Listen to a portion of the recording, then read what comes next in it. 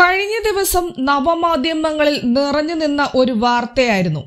മോഡലായ പത്തൊൻപതുകാരിയെ മൂന്ന് യുവാക്കൾ ഓടുന്ന കാറിൽ വെച്ച് കൂട്ട ബലാത്സംഗം ചെയ്തു എന്നത്. സംഭവത്തെക്കുറിച്ച് പലർക്കും പല അഭിപ്രായമാണ്. അതിന് കാരണം മറ്റൊന്നുമല്ല സംഭവം നടക്കാനുണ്ടായ സാഹചര്യം തന്നെയാണ് പ്രധാന കാരണം. കഴിഞ്ഞ വ്യാഴാഴ്ച രാത്രി എട്ട് മുപ്പതോടെ കൊച്ചിയിലെ ഒരു ബാറിൽ സുഹൃത്തായ ഒരു സ്ത്രീയോടൊപ്പം മോഡലായ യുവതിയും എത്തുന്നു. ഏതാണ്ട് പത്ത് മണിയോടെ യുവതി ബാറിൽ വെച്ച് കുഴഞ്ഞു വീണു.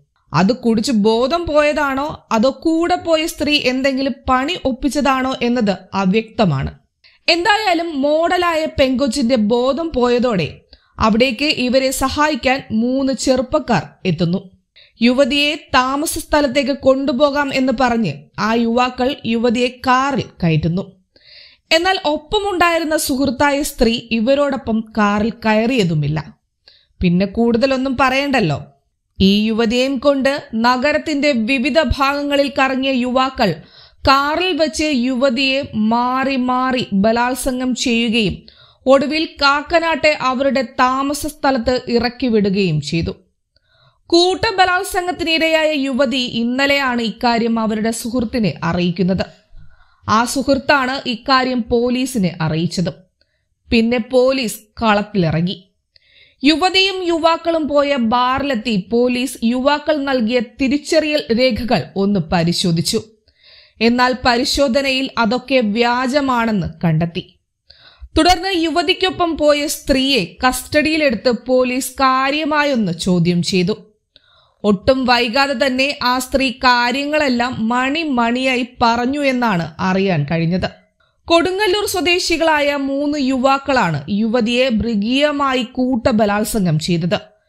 യുവാക്കളെയും ഇതിനുവേണ്ടി ഒത്താശ ചെയ്ത സ്ത്രീയെയും ഇവർ കൃത്യം നടത്താൻ ഉപയോഗിച്ച വാഹനത്തെയും പോലീസ് ഇന്നലെ തന്നെ കസ്റ്റഡിയിലെടുത്തു.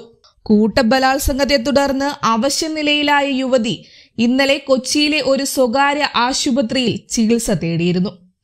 എന്നാൽ പോലീസ് ഇടപെട്ട് ഇവരെ കളമശ്ശേരി മെഡിക്കൽ കോളേജിലേക്ക് മാറ്റി. ഇവിടെ പലർക്കും പല അഭിപ്രായമുണ്ടാകാൻ കാരണം എന്താണെന്ന് മനസ്സിലായി കാണുമല്ലോ.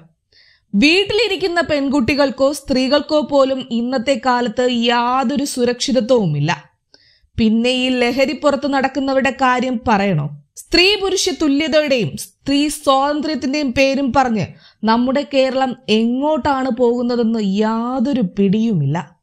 സാധാരണ ഒരു പെൺകുട്ടിക്ക് ഇങ്ങനെ സംഭവിച്ചാൽ കേരള ജനത ഒന്നടങ്കം പറയും അയ്യോ ആ പാവം പെൺകുട്ടിക്ക് ഇങ്ങനെ സംഭവിച്ചല്ലോ എന്ന്. എന്നാൽ ഈ പത്തൊൻപതുകാരിയും മോഡലുമായ പെൺകുട്ടി കൂട്ട ബലാത്സംഗത്തിനിരയായി എന്നറിഞ്ഞപ്പോൾ സമൂഹ മാധ്യമങ്ങളിൽ പലരും പറയുന്നത് ഇങ്ങനെയൊക്കെ നടന്നാൽ ഇതല്ല ഇതിനപ്പുറവും സംഭവിക്കും എന്നൊക്കെയാണ്.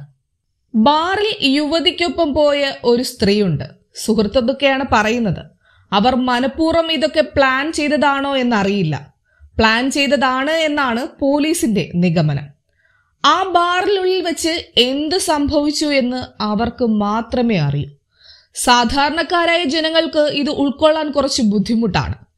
ലഹരിക്ക് അടിമപ്പെട്ട് ഇന്നത്തെ തലമുറ എന്തൊക്കെ ചെയ്യുന്നു എന്ന് പറയാൻ കഴിയില്ല.